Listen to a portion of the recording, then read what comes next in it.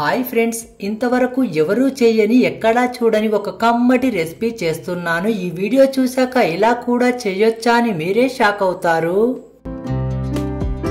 Medium size ఉన్న ఒక పుచ్చకాయను తీసుకొని పుచ్చకాయను మొత్తం శుభ్రంగా కడిగిన తర్వాత మధ్యలోకి రెండు ముక్కలుగా కట్ చేస్తున్నాను. ఇలా మధ్యలోకి ముక్కలుగా కట్ చేశాక చిన్న చిన్న ముక్కలుగా కట్ చేసుకోవాలి.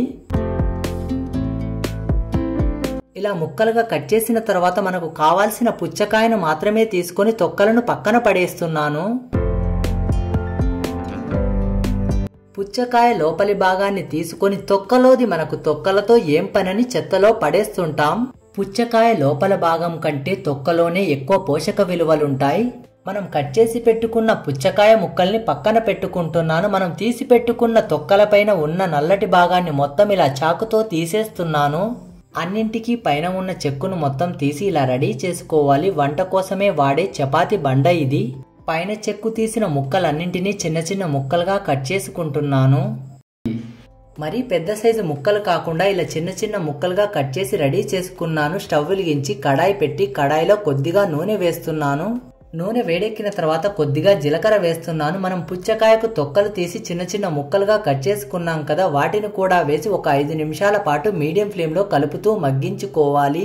ఐదు నిమిషాల పాటు కలుపుతూ మగ్గించుకున్నాక ఐదు పచ్చిమిర్చిని ఇలా మధ్యలోకి తుంచినట్టుగా వేసి ఒకసారి కలుపుకుంటున్నాను. కొద్దిగా చింతపండు వేస్తున్నాను రెండు అల్లం ముక్కలు వేస్తున్నాను. ఒక ఐదారు వెల్లుల్లి రెబ్బలు వేస్తున్నాను ఒక పెద్ద సైజు టమాటాని ఇలా ముక్కలుగా కట్ చేసి వేసుకుంటున్నాను. కొద్దిగా కరివేపాకు వేసి మొత్తం కలిసేలాగా కలుపుకుంటూ ఒక ఐదు నిమిషాల పాటు కలుపుతూ మగ్గించుకోవాలి.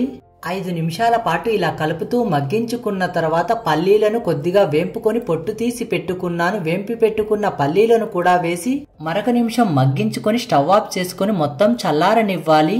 మొత్తం చల్లారిన తర్వాత ఒక మిక్సీ జార్లో వేస్తున్నాను. టేస్ట్కు తగినంత ఉప్పు వేస్తున్నాను. కొద్దిగా ఎక్కువగానే కొత్తిమీర వేసి మరీ మెత్తగా కాకుండా ఇలా కొద్దిగా బరగ్గా మిక్సీ పట్టుకోవాలి. ఇలా బరగ్గా మిక్సీ పట్టుకున్న తర్వాత ఒక బౌల్లోకి తీసుకుంటున్నాను.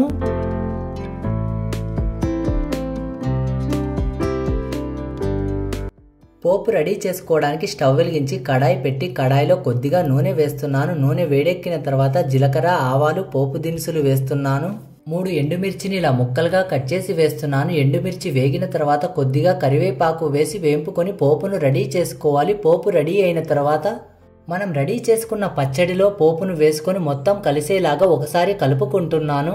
మనము పనికిరాదు అని పక్కన పడేసే పుచ్చకాయ తొక్కలతో చేసిన పచ్చడి. కూరగాయలతో చేసిన పచ్చడి కూడా ఇంత టేస్టీగా ఉండదు. మీరు ఒక్కసారి తప్పకుండా ట్రై చేయండి. వేడి వేడి అన్నంలో వేసుకొని తింటే కడుపు నిండా తింటారు. పుచ్చకాయ తొక్కలతో చేసిన పచ్చడి వీడియో గనక మీకు నచ్చినట్టయితే ప్లీజ్ లైక్ చేయండి షేర్ చేయండి సబ్స్క్రైబ్ చేయండి.